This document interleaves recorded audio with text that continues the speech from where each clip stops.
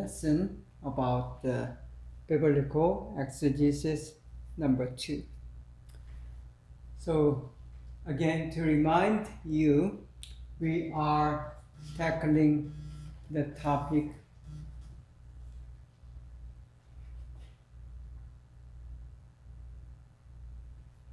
the subject of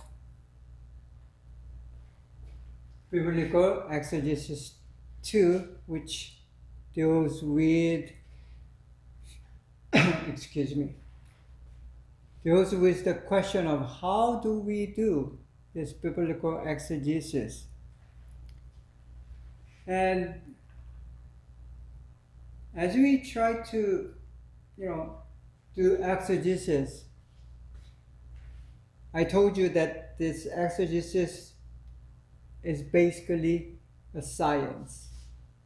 Science of having a good, uh, rational, systematic knowledge, the body of knowledge. And the, the, the process that comes with finding and verifying that knowledge, whether it's given or you're doing a new findings.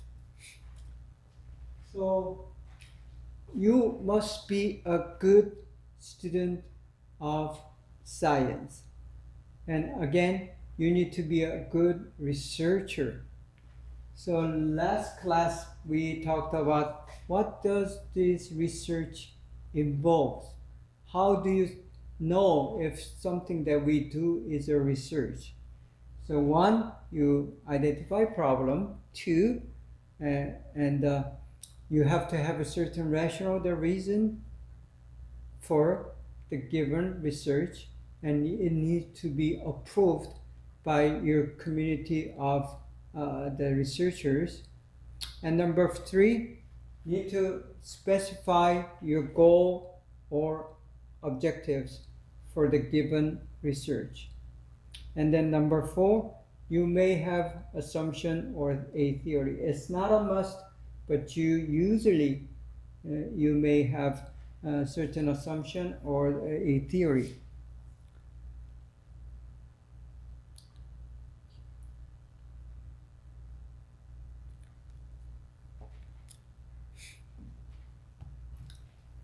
And we'll continue. How, what, what is the research and how do you do it? Then you need to have a, a good research plan before you actually tackle the given research. So where you start, how you're going to process that research, and how you're going to uh, close. Uh, and it's kind of a timeline. And by stating the research plan, you know what is involved, meaning how much time that you need to put into. What are some, some uh, the things the, that, that are required. Thus, you know how much money it is going to take to do the, the given research. And uh, sometimes when it's a, it's a group project, you need to know who's going to involved, how many people are going to be involved. So that kind of sets the tone for your research. And uh, I mean, that's not a, you know, uh, usually required when you do the uh, biblical exegesis. But other researches, any other good scientific researches, they demand a good, detailed research plan. Without a research plan, you don't know where you're going and what you're doing, and you keep changing the plans. And when that happens, it takes more energy, a lot of more money, which usually is a waste. And uh, number six, uh, you do need a, a methodology. Uh, there are many different methods of research, and probably hundreds of different uh, methods when you're trying to tackle a, a certain problem. And then this, this kind of question and problem requires this kind of methodology and that if that kind of question, if question is different, then you would need a different methodology. But in the even even with the, uh, the biblical exegesis, there are several different methods of doing the study. Then seven, number seven is research proper. That's uh, actually you're doing the search and the research of the resources and all the documents and all the uh, possible uh, uh, things that you can do as a researcher. Then, number eight, finally you come with findings. After all doing all this work, putting a lot of energy and time and a lot of efforts, you come up with findings. So that's that's the uh, the, the uh, you know uh, the thing that you kind of get out. It's like a you know uh, gold mining. You when if you're trying to get the gold, you have to you know find where gold might be. Do the research for that, and then you dig a tunnel, and dig out the the stones that may have uh, this uh, gold uh, in it, and then break it, then melt it, and then and then refine it, and then then come up with a piece of gold. Same thing with the research. It takes a, um, um, quite amount of energy and the time and the money. But biblical exegesis, you don't need the money, but uh, it takes a lot of time and uh, energy as well. Then once you have the findings, then implications. Uh, this is very important for the biblical exegesis. What this finding, these findings have meaning to me? Is it significant for me, my life, my community? Is what God is saying does does does that have any uh, good effects? Or does that imply to me is it saying what, what is it saying to me? So that's kind of implication. Number 10 further study or related studies. Any good uh, scientific research would not end as you have those findings when you answer the certain questions and then when you resolve certain problems, it adds, add plus, add more problems and more questions.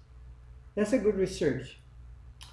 So it continues and it opens the door to the next problem, next set of issues, next set of questions and then you have to continue to do the research. Same thing with the biblical exegesis.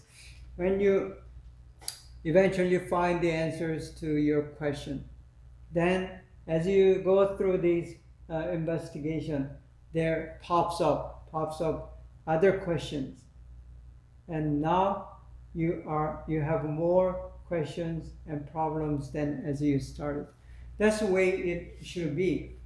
So it's a good thing when you find the uh, other questions and problems, and then you continue to tackle those things. Okay?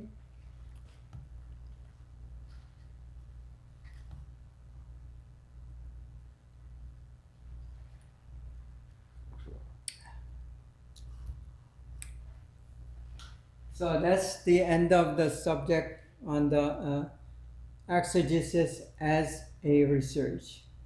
And uh, now we'll continue with uh,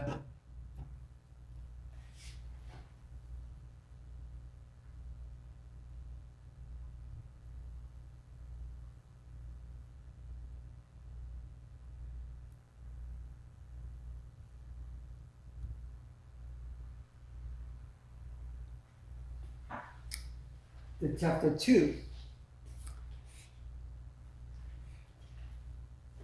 So we know this exegesis, biblical exegesis is a kind of science and it requires uh, certain level of research, and it is a research.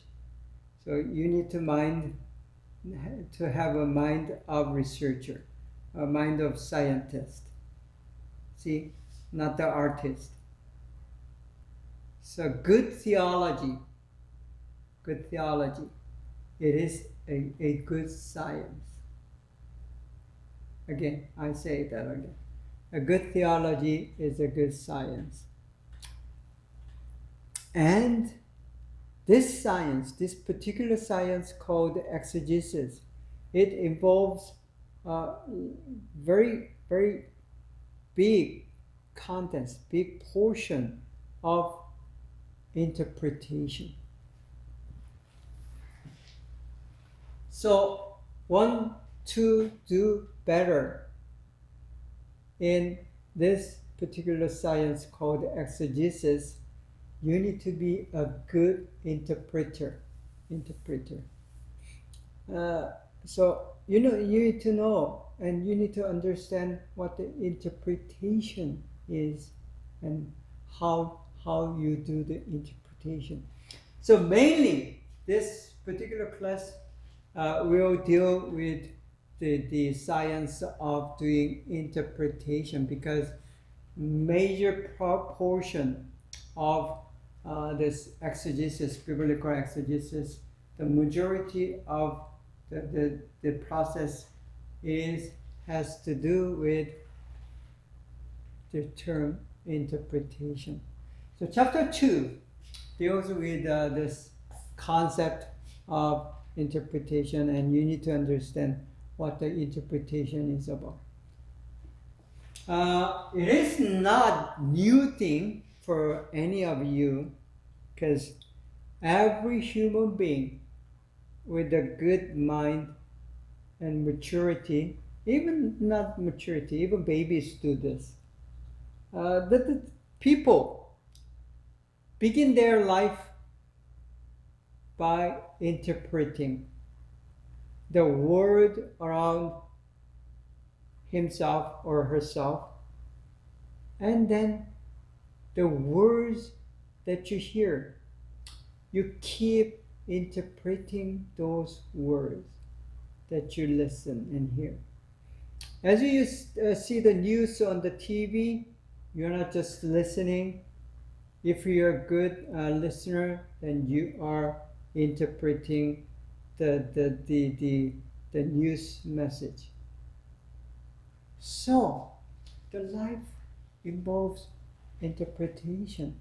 Even as you drive on the street, you keep interpreting how those signs on the street and the words, the directions, all these things.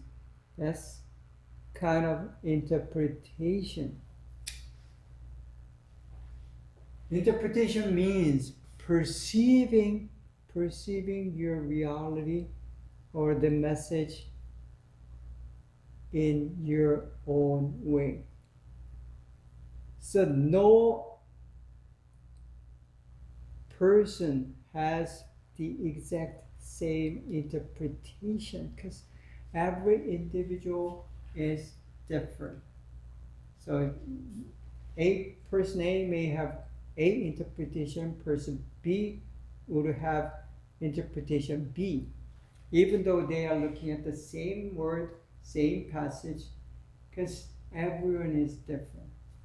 So that's kind of interpretation, perception. Your own perception of the reality actually is the interpretation.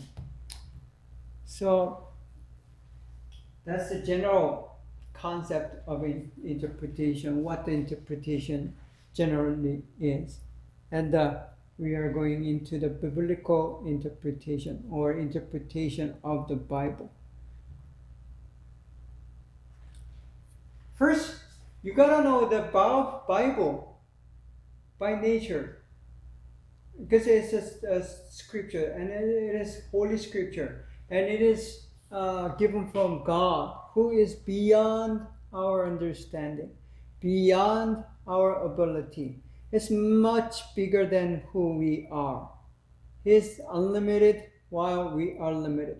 Because of that, uh, you know, uh, the author of Bible is unique. God is unique. He's very different from us. And the Bible, the Word of God, is also unique. So you got to understand the, the, the material that you're reading is not the, the human uh, writing. It's, even though it's written by human beings, the source, uh, the given, is not human being. It's someone who is beyond us. And uh, you need to understand that nature. And uh, that nature is, is, is uh, embedded in, the, in his message. Embedded means is, is within. Uh, so Bible is unique. How? How unique is it? Uh, number one, it's mysterious. It's difficult to understand because we are limited while he is much bigger. The way he sees is different from way we see the things. The, the, the, the uh, you know, he's beyond our understanding. Thus, the words he says to us are be many times beyond the understanding. But the thing is, God is good God. He did not intend intended us to be confused. It's not the intention of the Bible. Though it, it is mysterious, it does not mean that you, you are not going to be able to understand the message. Mysterious means you need to take an extra step than while, while as you are dealing with a human being. Human beings are mysterious as well, but they are not as mysterious as God is. It takes a little more effort and a very careful calculation and very careful understanding of God Himself to be able to understand His message. Not only is uh, mysterious the biblical messages, the, the uh, biblical contents that we are going to deal with as we try to do the good biblical exegesis. Many, many times, the verses that we see, the contents that we read, are ambiguous. Ambiguous means, uh, if you look at the dictionary, it means double or triple meanings. So even if it's the same word or same phrase, even, or same sentence, it could mean several different things depending on the context, context of the writings.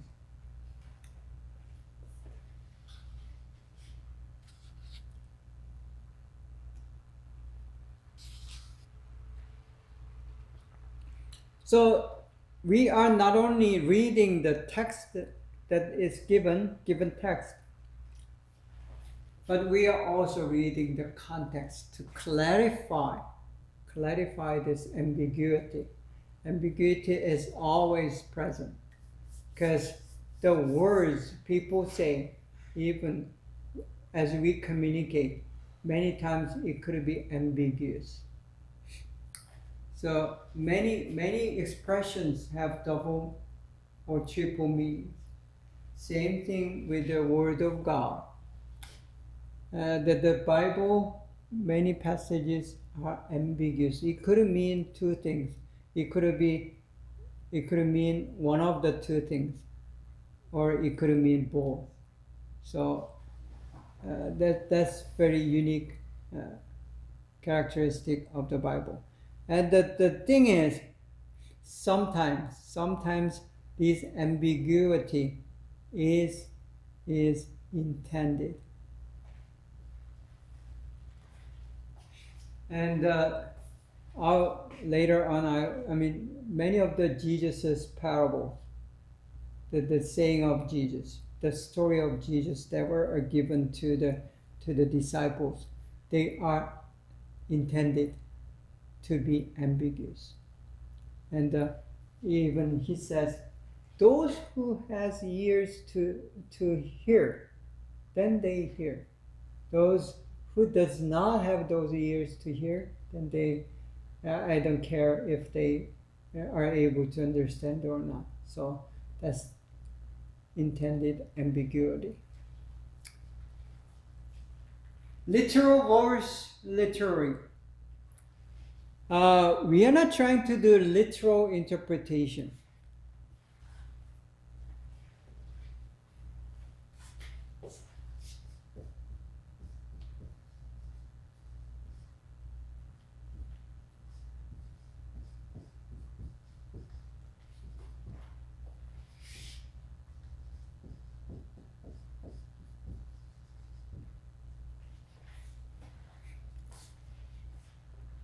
Literal means you do not go beyond what it is saying in, in letters and uh, writing.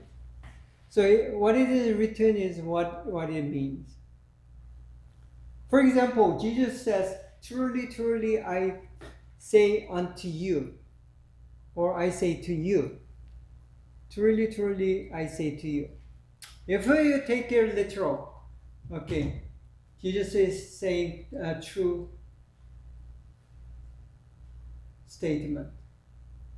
But when you go lit- literary understanding of that same message, truly, truly, I say unto you, it means I am going to emphasize this particular message that I am teaching you or telling you. So that's the meaning of truly, truly. When it is repeated, when truly is two times repeated, uh, by I mean it is a Jewish culture at the time, and the, the and the, the the oral tradition and the written tradition same thing. When verily, verily, or truly, truly are repeated, it means this is a very important, and so thus you're gonna uh, listen carefully. So truly, truly, I say unto you means listen very carefully. This is important. So that's the literary interpretation. But literal interpretation with a limit. Okay, Jesus is saying something that is truthful. Okay. Bible is unique and fact that there are certain gaps that we need to cross. We need to uh, lay the bridge on. And um, much of the effort that when we do, someone does a uh, biblical exegesis, is put into trying to fill these gaps. There is a gap of time, first of all, the most recent uh, documents that we find in the New Testament was written 2,000 years ago, almost 2,000 years ago. So there is a that gap of time and history. And that there is a gap of language, and there is a gap of culture, and there's a gap of uh, the, the, the styles and so on. So we are to cross the, or bridge those gaps when we are trying to understand the Bible. If something is written within your own culture, within like a, a day or two, there's no need for to fill these gaps. But the, the Bible, for anyone, whether you're American, even for the Greeks, as they read the, the, the, Greek New Testament, that language is different. It's not same as a modern Greek. So there certainly exist these gaps that you need to bridge. And then, human ego and prejudice. Because it is an interpretation, I told you that it is very subjective and it's personal. One individual to the other individual, there cannot be the same exact uh, interpretation of the given text. not only is it very individual, uh, by nature, when you are trying to interpret uh, Bible or any other document for that matter, people become very egoistic, selfish, and people do have certain prejudice. I mean, no one is without prejudice, whether it's racial, whether it's religion, or whether it's uh, about the economic status, or it's about uh, the, the, the outlook and the style, or dress someone uh, wear. See, even food. Food is something that uh, most of people have certain prejudice, not just a preference. A preference is uh, what you favor, and there there's nothing wrong uh, having a preference. It's, it's your style, it's your taste, and that's allowed. Uh, I mean, it's okay uh, culturally and ethically and politically to, to have a certain preference uh, it is okay. It's a, it's a matter of having diversity, and we have that freedom to have preference. But prejudice is saying, I like this, and he or she like that, and that is wrong. That is not right. That is lower than me. See, once you say that, and even if even if you don't say that, if you have that feeling that kind of attitude inside you, and you are prejudiced. And this, these things, the prejudice take a, may take a big part in doing your interpretation without knowing, without knowing you are actually doing and taking these steps toward the prejudice. You twist the message, and then the, the more than prejudice that, that, that matters uh, doing biblical interpretation, biblical exegesis, is your own ego. Human, by nature, without, without you knowing it, are very selfish, self centered. If, if not self, selfish, we are self centered. So we, I can safely say any any people that you know I know are self-centered, including myself.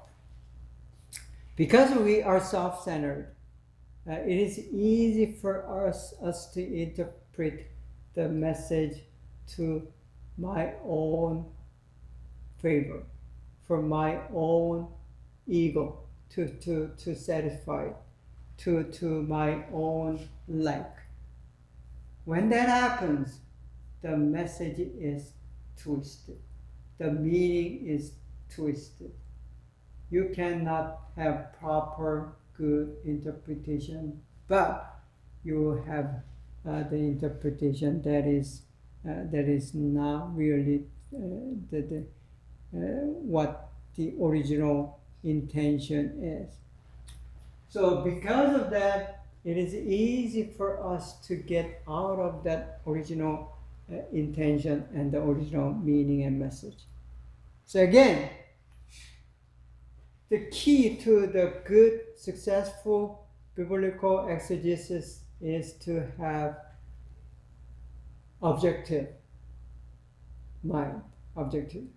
I mean, laying out all your uh, ego and your own uh, perspective or even the preference when you are doing a Bible uh, interpretation, even the preference, uh, your style may uh, interfere interfere with your uh, interpretation. So try to lay out those. This this is a very key to a good interpretation. Then we have false teachers. Uh, when, when we say false teachers, people may think of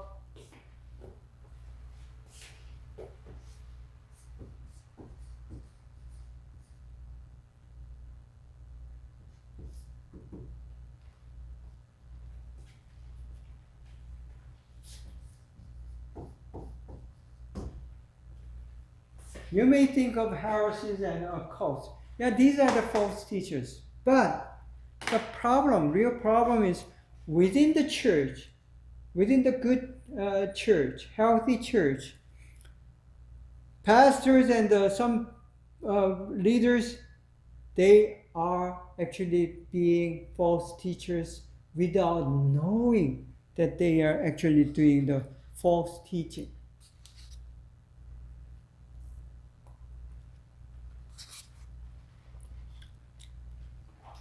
This happens not because they, they are uh, intended intending to do so, but they have learned from false teachers. The, the, that is which is not true to the Bible, but they have learned and they teach them to their uh, young uh, believers. For example, in America, there are still some people, some believers, some, I mean, good fundamental Christians who believe that God has intended race to be the measurement of human ranks. Again. And then they, they find their doctrine in the event of Noah after the flood. There, there are three sons, and Noah was naked because he was drunken. And being naked you know that's that's a shame for many cultures. And especially uh, you know middle eastern culture and in, in asian culture we know being naked uh, whether it's a man or a girl uh, it's, it's a shame. And then their three sons uh, take a different actions one son goes in and uh, you know he kind of was frustrated and uh, comes out and tell his brothers, Oh, this father of mine, our father, he, he is so drunk and, uh, you know, he's being, he's naked, sleeping. What a shame. And then another son goes in and walks backward with the uh, cloth and covers it. See, so each son take a different, you know, attitude.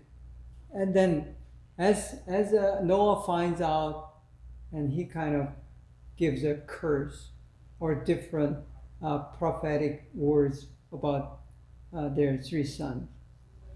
And they think, uh, th- these, uh, some, some fundamental believers, because of that, they're a race of white and the, the, the, the yellow and black. And black being the one who actually cursed uh, the father or, or said bad words against the father. See, this is, there nowhere in the Bible says that it's been the reason for the, the, the different color of skins that we have. But someone, someone with a false intention has developed uh, this kind of dogma, uh, the wrong doctrine, evil doctrine, and justified uh, their rule over the black uh, people. See, that's a sad part about, about American history, uh, especially the Christian history. But this, these doctrine, false doctrine, has been taught in the church, white churches, and even the black churches.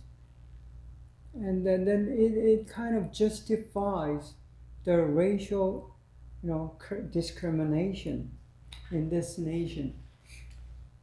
Uh, this very similar things in happened not only in America, it, it, had happened in Europe and even in Asian churches. There are these false teachings uh, that has not has to do with racism, but some other things. And another good example is the poor is poor because they are judged by God. And poor are poor because they are not diligent. And that the, these things are taught in a church as as as something of the doctrinal uh, truth.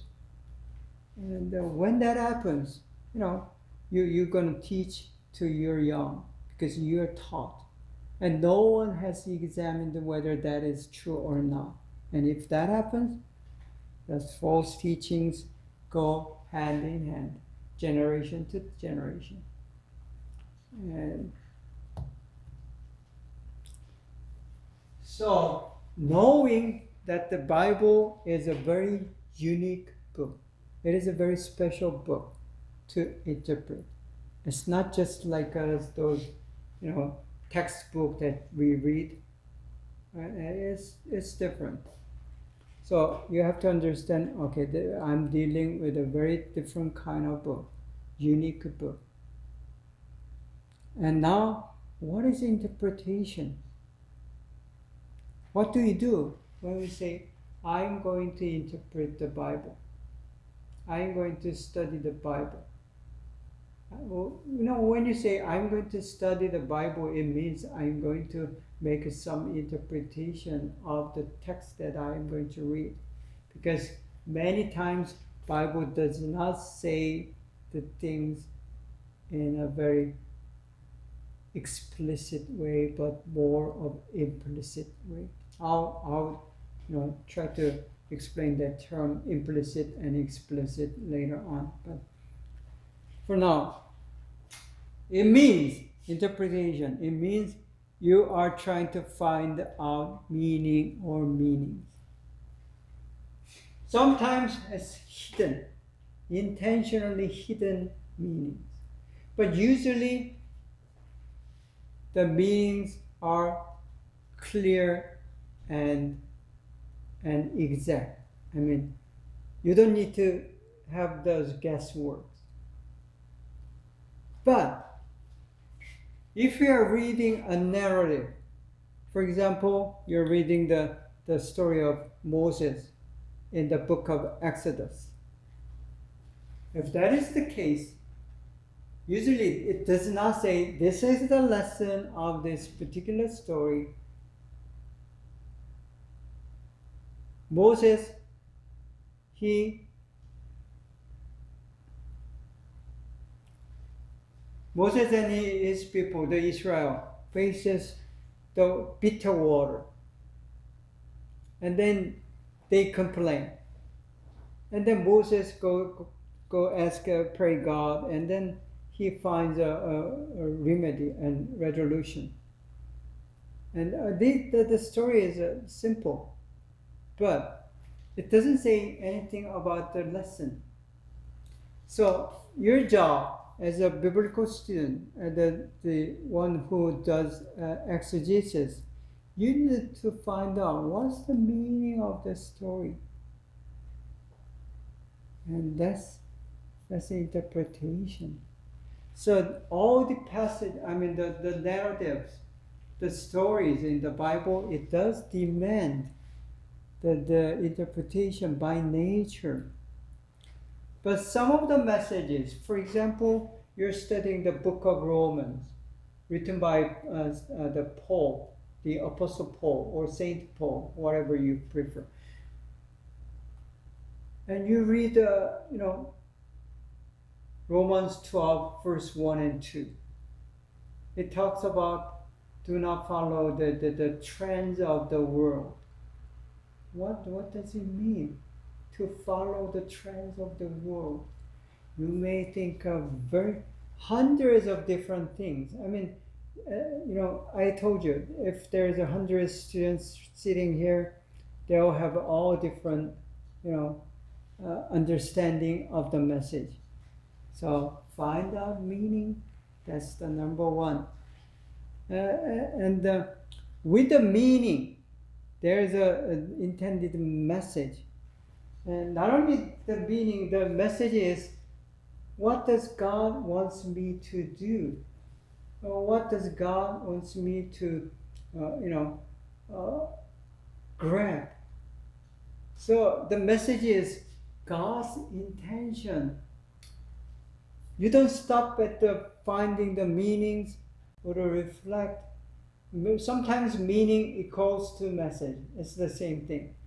But many times meaning is a meaning and then you have to find the message and the real true the, the, the intention of God toward the me. So that's the message. So message is the equal for everyone, but it is all at the same time. It is different for the everyone. So again, the message is God's intention, what God intends you to perceive and accept and act out. So many times message involves your actions, what you need to do after understanding the meaning. So it connects right away to the interpretation means making personal application. So good interpretation at the end, uh, you you are going to, you know, have certain applications. You need to. And your application means within and with the outside.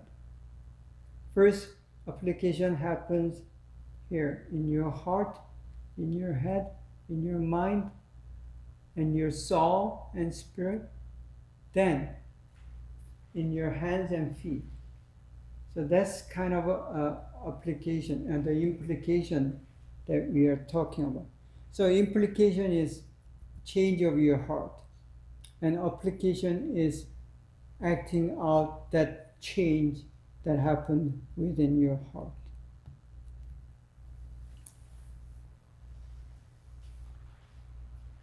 because because the Bible is a is a kind of literature, and uh, there is certain principles and the methods that apply to the interpretation of Bible. I mean the literature. So this these these principles are not only you know. Uh, applied to the Bible, it's a general, universal uh, principle for interpreting any, any literature in any language.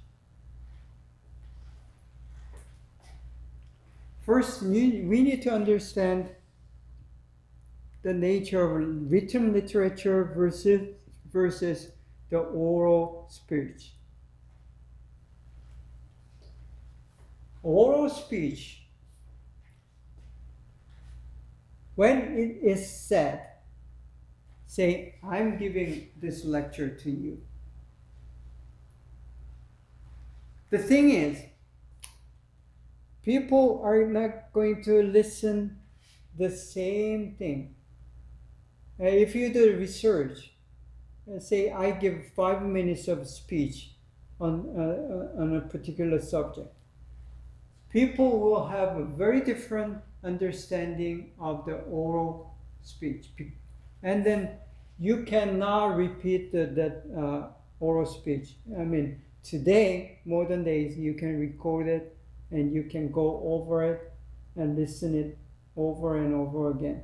But in the, in the old days, before we have any kind of uh, uh, voice recording, once it is said, it is said. And you sit there and listen and you perceive the, the, the speech.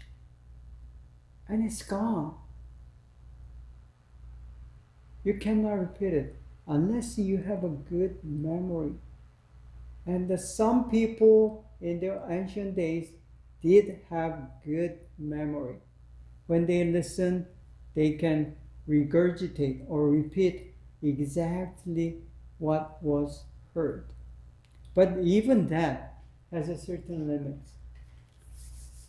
On the other hand, the literature, it is written, it is recorded, but that does not mean it is perfect because when people read the literature, they may highlight certain part to the, the, some other parts.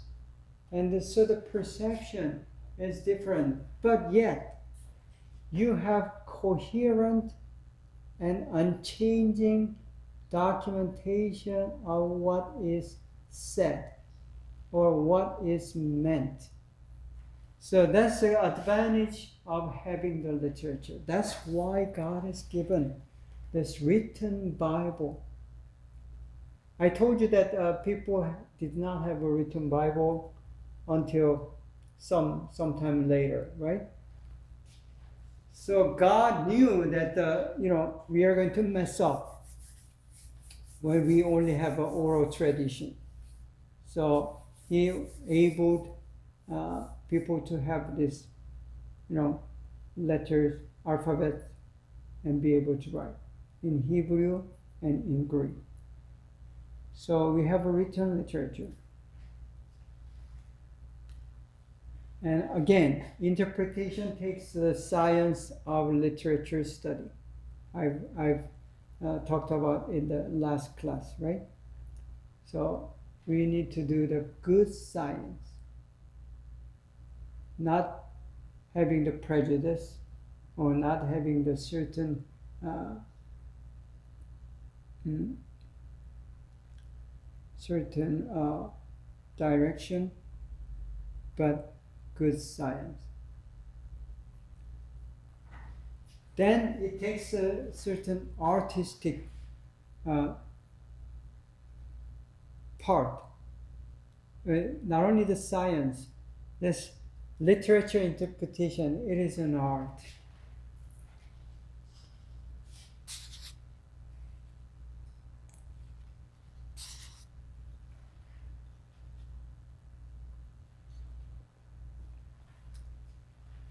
So it takes a good artistic skills, artistic sense to have a good biblical exegesis.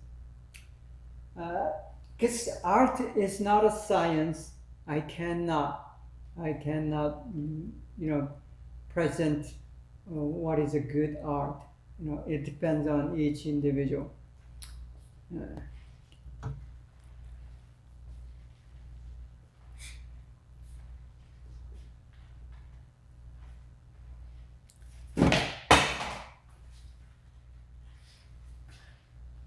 Now the message.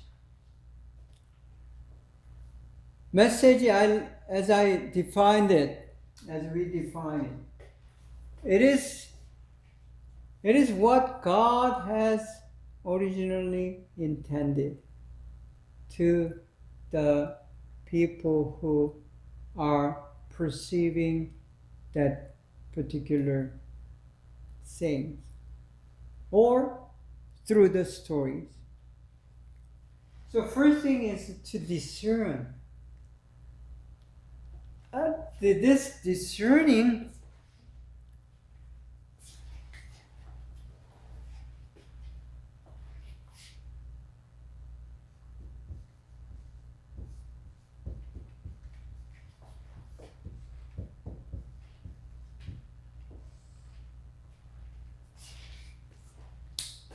to discern the message, it takes a inspiration. Another word, we need help.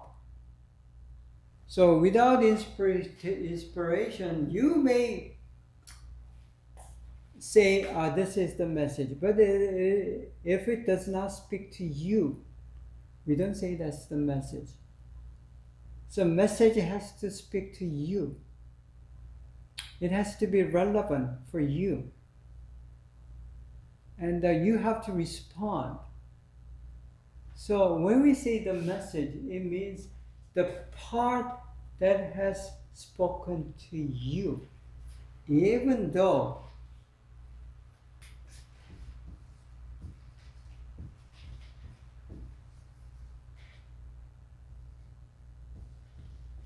say uh, there's a given text and it has 10 different messages in it but the, when we say the message, it could be only three would make sense to you, or none for the for the matter. So there's no message for you then. Uh, even though you have studied, researched the particular uh, given text without inspiration, the work of the Holy Spirit. Yeah, you understood the, uh, the passage, you understood the text, you know what it means, the meanings, but does not mean the message. The message, when you respond to these, the, the, the message is given, it becomes true message. And there is a message verse medium.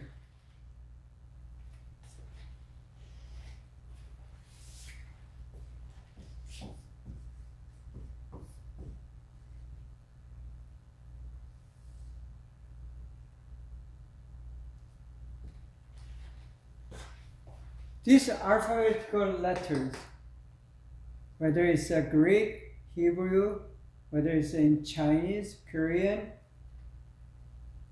you know, the letters are letters. They are uh, in the form of text. So those are called the medium. It's, it's, it's carrier. It's like a car. You drive in it and you are the message. Car is just a car. You can use a red car, black car, big uh, van, or just a passenger car. You know, whatever the uh, car, it, it needs to uh, bring you from A to B. That's the function of a car. Same thing. The medium does bring the message from A to B. But do not confuse the message with the medium or medium with the message. It is different. So you need to discern the medium to the message. The problem is some of the the, the Bible, for example, the narrative. As you read the narrative, there are stories that has nothing. I mean, it does ask to do the message. It helps to you to understand the message, but it's not directly related to the message. There are characters who are not believers in the Bible. It does. We have many characters who are not Christian or who are not Jews or who are not faithful. But these characters, they are not the message. So you don't just follow uh, the, the follow it because it is in the Bible. For example, King David. She, he, he had an eye for Bathsheba, someone else, someone else's wife, Uriah, Uriah's wife,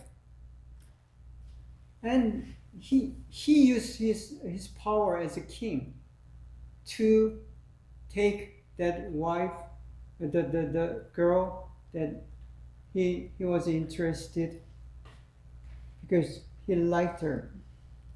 Uh, Bible didn't say he loved her, but he liked her, and he took uh, Bathsheba as his wife. Even, uh, you know, trying setting up the, the her husband to be killed in the battle. So that is in the Bible. Because it is in the Bible, it is the message. It's not the message. The message is do not do this. Do not do this. It's a bad example. So those are also the medium. And uh, the message is underlined. So your interpretation has to come up with this is evil, and uh, he himself thought the king David knew that it is evil, but he still did, and the God had uh, spoken and then took punishment after the uh, this thing happened, and so on. But God still allows that to happen to the king David, who who's known to be very faithful to God. So the question is, how could that happen? Someone as much faithful as King David commit an adultery. And, uh, you know, interpretation takes a step to try to understand what is God trying to, to say here. And God allows and sees and does nothing as it happens. He come he could send his angels and say, that, that is wrong, don't do it, King David. It's gonna ruin your life uh, from here and on. And he did ruin his life because he, he has to pay uh, for the result of that. And uh, uh, the, the, the, the later stories say he has suffered from all the consequences. And that also gives you a, a lesson and a message, so on. So try to separate and discern the message from the medium. Now we come to this. There are two different types. Um, there are more, of course, more, more but simply uh, as, as we do the interpretation, these are the important key terms. Uh, implicit and explicit.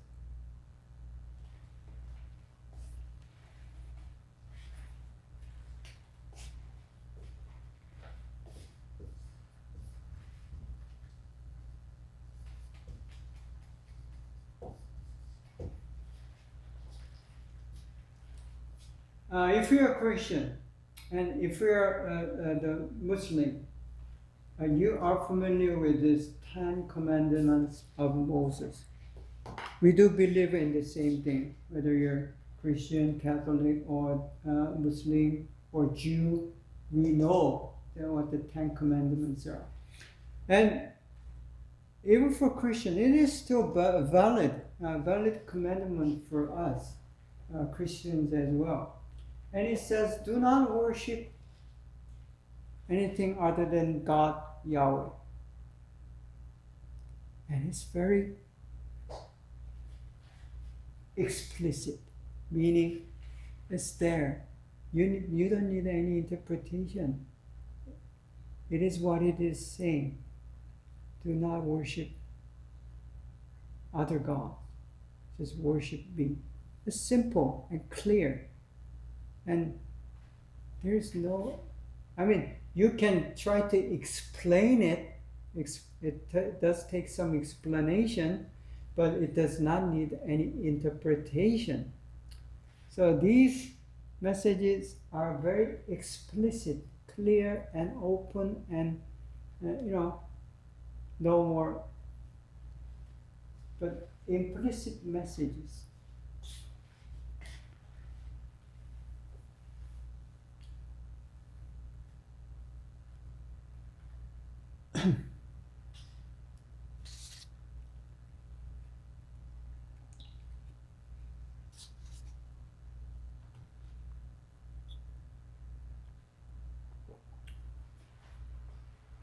For example, when Jesus said, Repent, repent, the kingdom of heaven is near.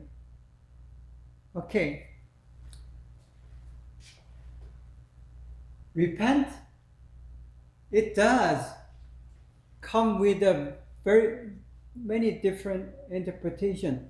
Repentance for a person may be different from the repentance for B person. They, they understand the word differently. So inter- what interpretation does is try to define the repentance as Jesus has spoken. And also kingdom of God. What is the kingdom of God? It is not that clear. You have to do some research to uh, define and understand the kingdom of God. And why is Jesus saying kingdom of God is near. I mean, he could say kingdom of God is here, referring to himself, but he didn't say that kingdom of God is near. So all these words in in that very short sentence is even shorter than the first commandment in the Ten Commandments. It does require much interpretation.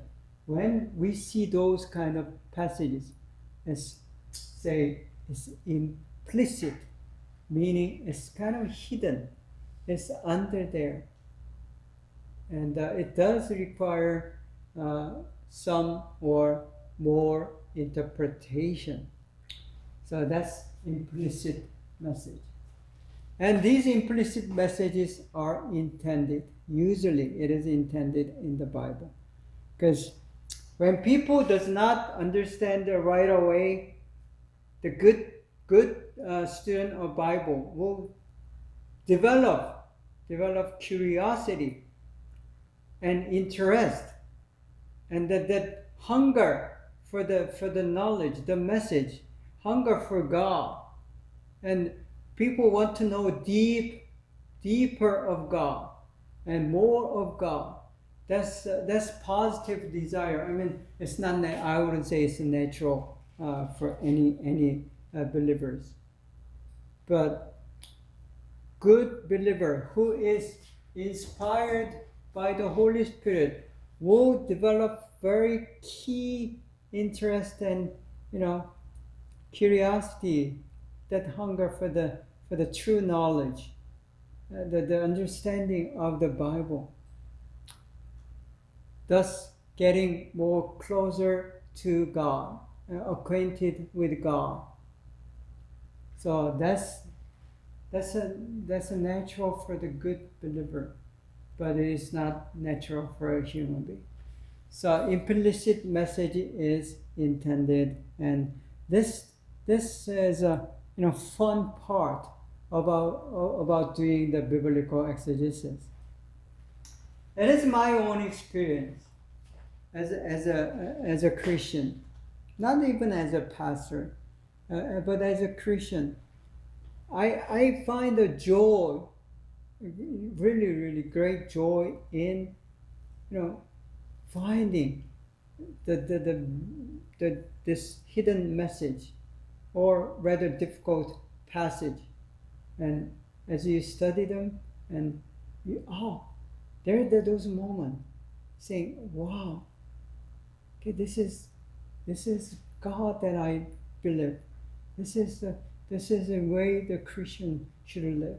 There are those moments, and it's uh, the utmost joy of knowing who God is and what uh, the, the real intention of God is. That's uh, the joy of studying the Bible. See, so it corrects, connects to the discovering the true meaning. Finding out the source or author's original intention. So that's the key. When we say the message, it is has to do with the original intention. It may, you know, have you, you can have a secondary or third thirdly uh, messages reflecting on the original intention, but that's not the original uh, intention and the message. So uh, before you go to the secondary uh, implication or or interpretation, but you need to focus on the primary, uh, the intention and the message. Also, fully identifying with the original receptors. Uh, it means there's always original readers or, or, or, the listeners of the message. When the uh, prophet, prophet Isaiah speaks his message, there were audiences, the Israelites, at the given time and the given place. And they, they perceived uh, Isaiah's message in, in a way that the message was intended to. And our job is not only find the, the original intention of the Isaiah and the thus God, but try to sit in the in the in, in their shoes, sort sort of sort of speak. So in their shoes, and try to listen as the original listener, original uh, reader of that given message. And when when you are able to do that, and then you cannot make a mistake of having the wrong implication or application. So this is very important uh, for any uh, student of biblical exegesis. You try best, your best, to be the original listener and the receptor. Then understanding the exact semantics of the original language. Uh, you cannot, you, you don't, do not speak that uh, Aramaic or the uh, Jewish language, Hebrew, or the Greek. Uh, I, I don't think any, any of you uh, do, and I don't. So it's, it's not even my second language, right? But there are good resources, the materials uh, that are available easily. Just, you know, typing out a few words on your smartphone, you you'll find other vast resources already there, rich very rich and the good ones. So the get trying to get familiar with the original language using these uh, resources, even though you you do, I mean these days you do not need to uh, really become the good scholars of Greek or Hebrews to understand the uh, Bible, uh, the biblical original language. Then the discerning the uh, levels of the message uh, that that takes some it takes some uh, experience, and uh, it, it is a kind of skill that you are going to develop as you keep continuing doing biblical exegesis. I've been doing this for like a 30 years, then I kind of know by reading it, okay, this is uh, th- this level of uh, message and th- that is uh, different level. So there are certain level of uh, messages, or a better word would be